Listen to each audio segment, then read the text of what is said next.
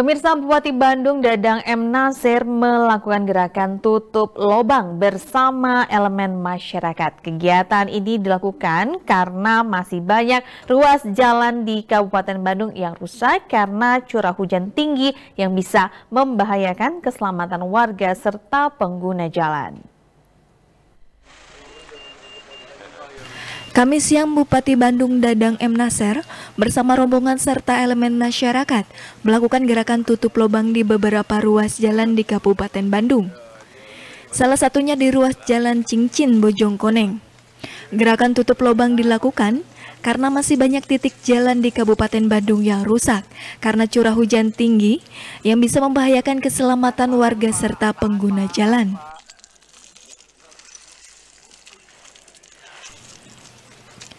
Pria yang sempat dijuluki Dadang Beton itu menegaskan, jalan mantap di Kabupaten Bandung sudah mencapai 82 persen.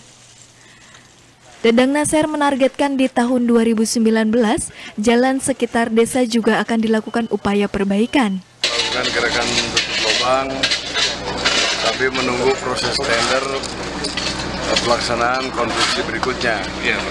Uh, namun karena masih panjang situasi tendernya, jadi kemungkinan di sebelah lewat lebaran atau ada yang mau dikerjakan di bulan puasa untuk menjaga hal-hal yang tidak diinginkan itu untuk menghindari kecelakaan warga maka kami mengajak seluruh warga Kabupaten Bandung dari hari ini mari kita melakukan gerakan tutup lubang bagi jalan-jalan yang rusak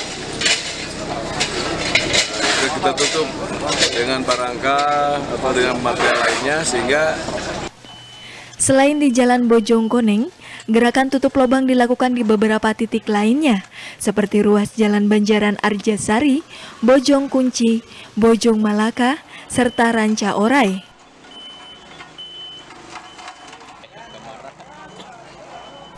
Rezi Tia Prasaja, Bandung TV